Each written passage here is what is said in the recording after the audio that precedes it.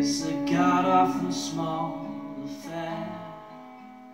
To the girl with the mousy hair But her mommy is young, you know And her daddy has told her to go. But her friend is nowhere to be seen As she walks through a sunken dream to a seat with the clearest view. And she's hooked on the silver screen. But the film is a sad bore. Cause she's watched it ten times or more.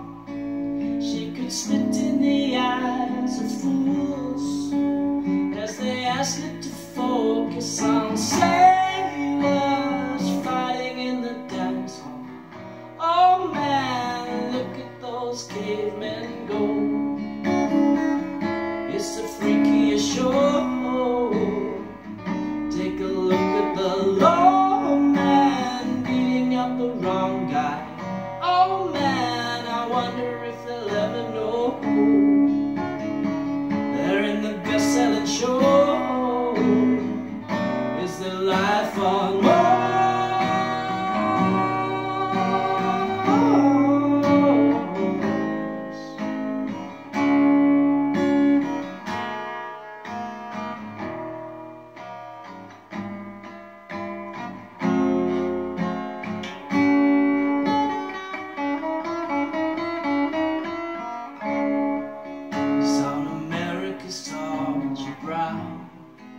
Mickey Mouse has grown up a cow And the workers have struck for fame.